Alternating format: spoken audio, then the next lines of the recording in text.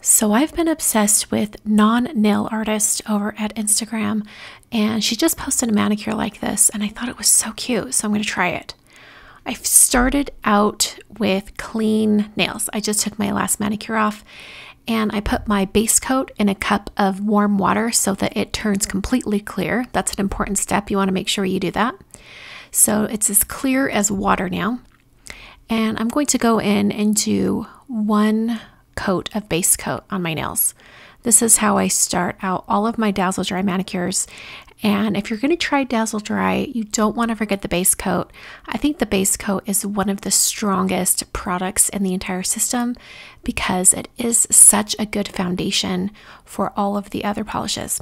So I do one coat of base coat and I let that dry for about mm, about two, two to three minutes. And then I come in with two coats of Transform. And Transform is the Dazzle Dry Ridge Filler. It is not, you know, like it isn't required for your Dazzle Dry manicure, but a lot of people who love Dazzle Dry do include this step because it really smooths out your nail. Dazzle Dry, excuse me, Dazzle Dry just as uh, nail polish does dry down really thin because it is such a quick drying polish.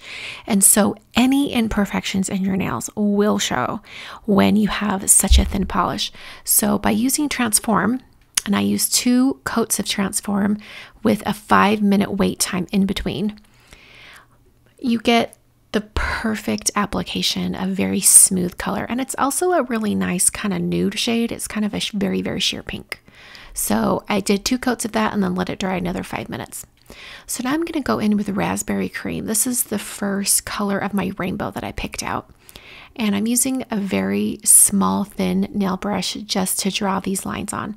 Now, this is my first time kind of doing nail art quite like this. So I wasn't sure if I would be able to get a really nice smooth line. And they're a little bit wobbly. I mean, let's be real. They're not perfect, but I did pretty good. The next color I'm using is Sahara. And I'm going to put that right up next to the raspberry cream. And just like non nail artist did over at Instagram, um, I varied where the rainbow kind of came in on my nail and kind of spanned across. In fact, I pretty much copied exactly where she had her rainbows because I was kind of flying blind in all this. So I'm using Coastal Wave now for kind of like a greenish shade. And like I said, because I've never really done nail art quite like this, I was relying heavily on the inspiration photo that I saw on Instagram. For my blue shade, I'm using Lotion Please. Such a nice blue. And um, I'm applying that right below that coastal wave, just to continuing on this rainbow. I decided to leave them in rainbow order. Now, in the original manicure, she used some holo taco polishes that were very sparkly and holographic.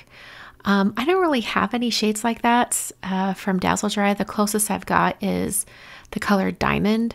So after I applied my purple color, which I chose as Periwinkle Passion, I came in with a coat of the color Diamond from Dazzle Dry. And this is sort of like a holographic sparkle polish. It's basically a top coat. The sparkles aren't too concentrated, but I thought maybe that would kind of disguise some of the wobbliness on the lines that I painted. And it worked pretty well. And I do like the sparkles. I mean, if you're going to have rainbows on your nails, you might as well just lean into it. I mean, I'm one step away from putting a unicorn on here. No shade to unicorns. I love them.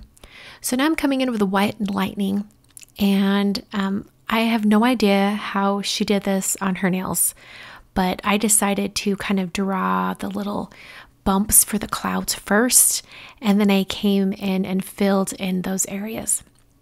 Some of the areas, especially going over the, ra- the rainbow part, uh, the white needed a second coat. So I did come in with a second coat of polish on the white in just a few areas where I could tell that there was like something underneath, and that really seemed to kind of clean it up. So um, don't be afraid to do like multiple layers for stuff like this. I used my uh, tried and true uh, standby of a brush. This is my old eyebrow brush. I think I've been using it for a cleanup nail art brush gosh, for going on 10 years. it's it's been through a lot. I did come in, like I said, and put a little more of my white lightning polish on top of some areas just to get it really, really white. And then I did two coats of top coat. I always do two coats of top coat with Dazzle Dry because if I only do one layer of top coat, it does stay shiny, maybe for a couple days, but then it starts to lose a little bit of its shine. So I got this tip off the Facebook group for I, uh, I love Dazzle Dry. Uh, they said, hey, do two top coats and it stays shiny longer. And sure enough, it does. I applied a ton of cuticle oil because my nails are super dry. And then here's my finished manicure. I think it turned out so cute. And I, I mean, gosh, I should have worn this for St. Patrick's Day. Put a pot of gold there.